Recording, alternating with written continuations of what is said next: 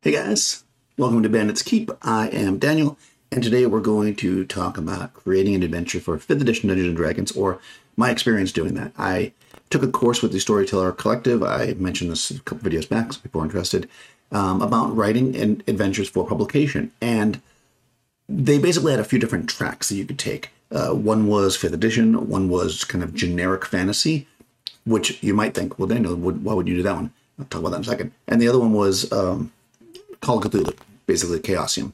So I looked at, they kind of showed like what each course had, and it seemed like a lot of them shared uh, similar paths, but the the one that I would imagine would be the generic one, like the OSR one, had everything, or I should say, the 5e one had everything the OSR one had, plus additional stuff like laying out for 5e, how to use, uh, you know, the DM's guild, all that stuff. So I figured, why not? And I am not, uh, even though I don't play 5e that much, I did, you know, in fact, start and I played it for a good four years. I mean, I ran tons and tons of 5e. So I thought this would be a good uh, way for me to break away from my norm, of what I normally do, and also to try something new.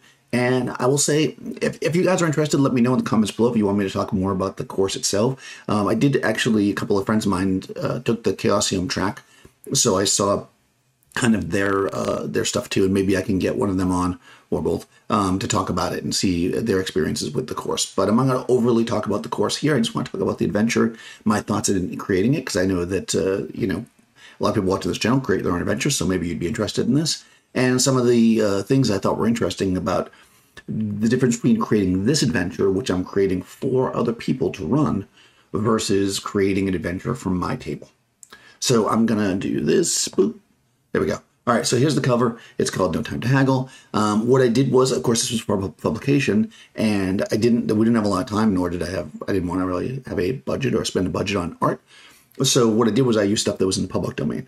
Uh, places like Wikimedia Commons has uh, not only stuff listed because I've seen other things where it shows public domain images and they just show them. This actually lists when it was originally published, why it's in public domain, whether it was donated or if it just passed the the uh, the, time period, et cetera, et cetera. And of course, this is a derivative art. I took two different uh, images, one of the kind of a hag face on the top, and the other one of like an ogre, um, which ties into the story in a second. And I kind of just put them together to create kind of a, a simple cover.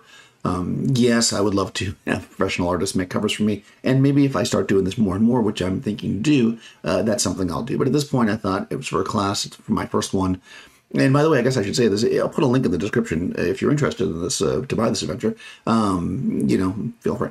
So this is the cover. Again, I just did it myself. Um, nice and simple.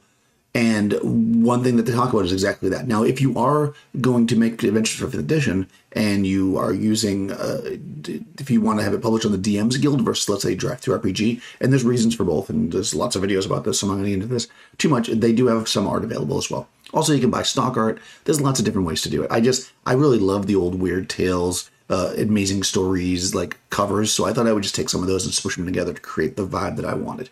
Because even though this is in fifth edition, um, I still wanted to keep it the way I run it, right? So I didn't want to run it in Forgotten Realms. I wanted to keep keep it a little more kind of gritty with fairy tale mixed in, because that's kind of the stuff that I like. So I went into that right away, um, thinking I was going to do that. So let's see. So as we get into what's cool is they give you a um, like a form that formula that you can use to make it look more fifth editiony, which is really nice because you can see how I did this here.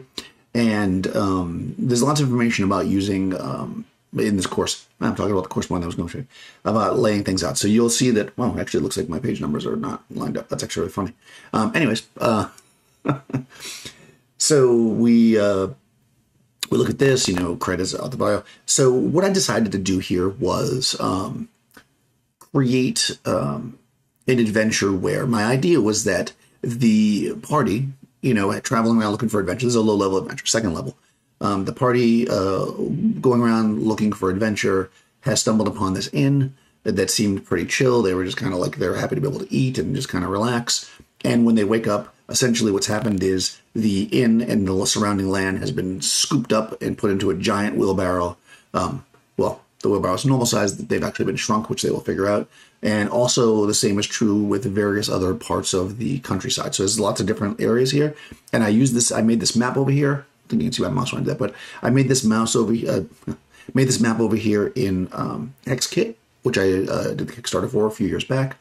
And essentially, in the center, they start in the inn, and then you've got different terrains they can see around them. They see a graveyard, they see a swamp, they see a, a, kind of a frozen wasteland, they see a desert, and they see kind of two forests. One's kind of a spring glade, and the other one's kind of a fall uh, thing to either side. Uh, and then that rocky terrain around them is basically an area that they can't pass. They'll figure out pretty quickly that the wheelbarrow they're trapped in is just shrunk them once they kind of do some uh, investigation and then they will make their way out. So this is basically a mini hex crawl. I mean, in the end, they're really only going to go through two hexes unless they want to gather around. They're going to go through one of the ones that's right next to them and then one of the forests because those are basically the way up. So it's pretty simple. It's designed around a one shot, um, but I wanted to have a lot of different stuff in here. Now, what I thought was interesting is I could have basically written this adventure down on a napkin and run it myself, you know. But when you're running it for somebody or creating it for somebody else to run, you need to think of things like, okay, how are the adventurers going to know how to get out of the wheelbarrow? What's you know, in, in fifth edition, there's rules for that, right? If they make a successful Arcana check or whatever, so you want to factor that in, right? If you have an idea and you're creating an adventure, you really want to make sure it's clear to the GM what they're supposed to be doing if that is, you know, up in the air. You could leave things, of course, for them to create, but you don't want to leave it so vague thinking to yourself, like, well, yeah, of course, anybody would do that. And in fact, when we play tested, I had, I had another GM run it for me. the players did exactly the thing I didn't think they were going to do. I thought, there's no way they're going to go to this area. It looks too dangerous. And that's exactly where they went. So, you know, it's good that I had all that stuff worked out so that they would be able to um, figure it out. So I have my map here, like I said. Um, and again, what I did was this is recommended in the course. broke it down with a little bit of background, a little synopsis. So essentially, what's happening here is this hag um, has she's trying to build this this reef, this reef of death, um, off the coast of uh, you know off a coastal region, and she's been uh, having this ogre collect these like clods of earth that are you know occupied by people and they're dumping them over this cliff essentially killing all these people and destroying all this land to create this reef um, you know down in the ocean shore. So at the time the party gets scooped up this is like the last one. So the idea here is that they're going to work through these hexes they're going to either gain um, you know, uh, friends or enemies, I guess, uh, as they go through the hexes, they will escape the wheelbarrow, confront the ogre, which is a second level party, is not a tremendously hard fight, but still a tough fight and then they will either uh, head to the cliff to to fight off the hag or try to take off with the wheelbarrow to save everybody. You know, they've got a lot of choices and a lot of. That's how I like to leave my adventures open. I don't like to have my adventures so set in stone that, you know, this is linear, linear, linear. This is a fairly linear adventure because if you follow the, the, the path, you're basically going to discover they're in the wheelbarrow, work your way through a couple of hexes, get out, control, confront the ogre, and then ultimately confront the hag. Because if you try to uh, if you go to the hag, obviously you're going to fight her.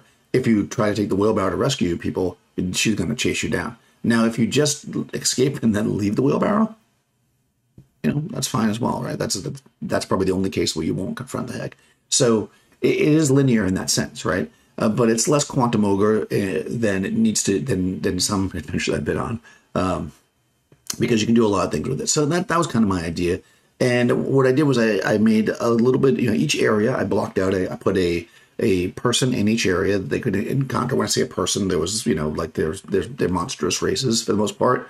Because um, I did want to make a challenge. I wanted people to think, hey, should we try to befriend these lizard folk or these orcs or these whatever it is, goblins, right? We want, you know, does the party want to interact with these people and try to befriend them, or are we going to see them and go, oh, let's kill them because they're not us, right? So it creates a little bit of a moral uh, thought there, and depending on the vibe of your world, it, how people interact will be different. I also created a small uh, like dungeon within it uh, because I, I can't create anything without a dungeon. Uh, so if they go into the graveyard area, there's a little dungeon in there. And even you know, again, when you're writing things for somebody else, like I even put down the corner, you see this blue. It's called the waiting game. This is the area where I kind of describe my thoughts if the party decides to like because parties might do this, right? If they decide to just look up at the sky, see there's a giant ogre pulling the wheelbarrow, say, well, they got to be taking us somewhere. Let's just wait, right? So I even put a little thing because again, I'm writing it for somebody else. Now I knew what I would do in that case, but it didn't occur to me when I first started writing this that hey, it's important for me to put that in there because I have an idea of what should happen. So eh, you know, this is kind of the things you want to think of when you're writing an adventure for somebody else to run. You've really got to consider that things that you might house rule or do the rulings thing you want to at least give some kind of an idea of how you would do it. Even if they're going to change it, you still want to have a rule in there. Like if, if there is a, a monster that is supposed to be aggressive and is going to do a certain tactic, then you, you know, in your mind, then you want to make sure you list that. And I think that's one of the big takeaways from this is that you want to write your adventure so that it's clear what the intention of any of the monsters or traps or NPCs is. Whether the DM wants to change that, that's up to them. So again, this is not so long. This this so you've got your your your uh, your uh, map. I guess I'm looking at the map. You've got your you know beginning part. I'm reading and talking at the same time, which is right now. You've got your beginning part, your background, synopsis, how it starts, and then you've basically got your hex crawl here for the most part, um, and here. So it's a you know three pages of hex crawl and then you come into what is the ogre and the hag, which is kind of the finale. You would, yeah, as, as noted, you might an ogre is pulling the cart, so you're going to encounter the ogre. How is the ogre going to be uh, to the party? Is are they going to be friendly to the ogre? Are they going to fight the ogre? Are they going to do whatever? That's all part of what they can do. And then finally, the hag. I did make another map here because I wanted to make it clear to any GMs running it that the hag is pretty far away, so she can use her tactics if they go after her. Um, then I have some conclusions with some follow up adventure, uh, adventures, which I think is important.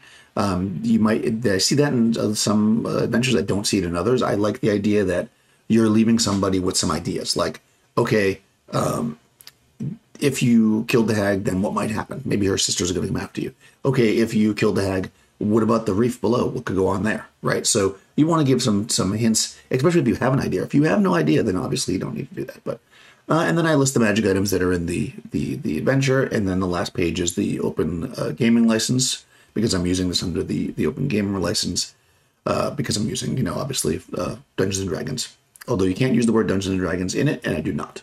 but I can say it here because I'm not using the open game license. So yeah, I think it's been it's been really interesting. I would love to get a conversation going about what people think if you have questions about um, or if you've published adventures for other people, like what you think about publishing adventures for others. Uh, how how is it different for you? Is it something that you're interested in doing? Is it just does it seem out of reach? Uh, do you want to have questions about how to put it up on drive-through? I can try to help some people with that. Um, it's not so difficult, believe it or not. It's actually pretty simple. And um, hopefully, I'm going to be putting up more and more adventures. So if you guys are interested in this, I will put a link. Um, you can pick it up on DriveThruRPG. Also, um, ring the bell and subscribe if you haven't. If you got this far and I'll see you next time.